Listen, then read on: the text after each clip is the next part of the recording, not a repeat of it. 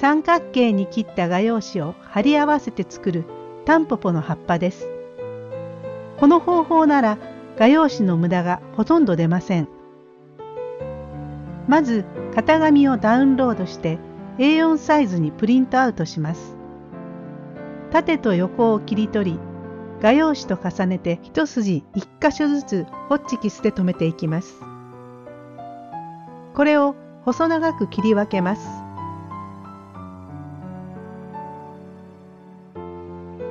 そしてホッチキスで留めていない方から線に沿って三角形に切っていきます。切り終わったら型紙を外し画用紙を重ねて真ん中に折り目をつけておきます。両端の残った部分も真ん中で貼り合わせれば1枚分として使うことができます。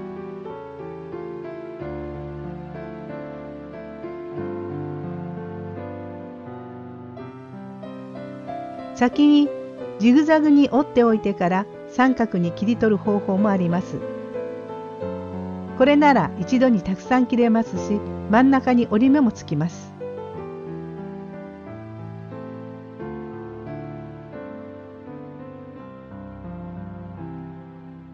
やりやすい方の方法でいいので大きいのも小さいのも全部三角形に切っておきます。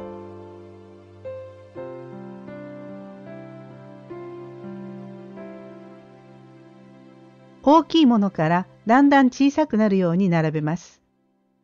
大きい方が刃先になります。折り目がついている先のところに少しだけ糊をつけ貼り合わせていくとタンポポの葉っぱが出来上がります。少しずつ斜めにしながら貼っていくと曲線を描いた葉っぱになります。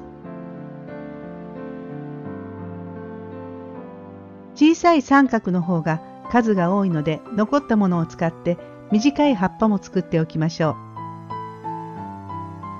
八つ切り画用紙半分の大きさでこれだけの葉っぱが作れます。花と組み合わせて飾ってください。